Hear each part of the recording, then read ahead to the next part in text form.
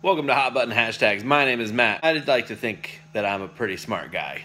I have a, a certain amount of natural intelligence, not highly educated, but that's not no not always super important. I thought until recently that I, I had more than my fair share of common sense.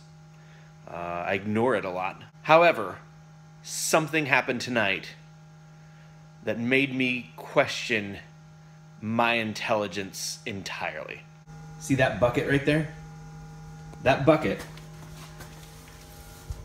of laundry detergent. We acquired that bucket of laundry detergent uh, back in, I would say, August perhaps of 2016. So it's been like a nice, like a solid half year, six months of that.